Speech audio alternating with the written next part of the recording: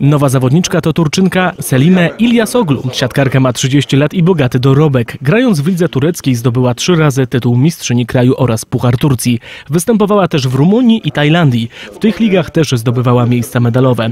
Był to taki trochę wymuszony transfer, może wcześniej trochę nieplanowany, ale, ale y, oczywiście z dużymi nadziejami, żeśmy go dokonali i dzisiaj myślimy, że to będzie, jest, to, to jest transfer, y, umowa jest podpisana do końca tego sezonu.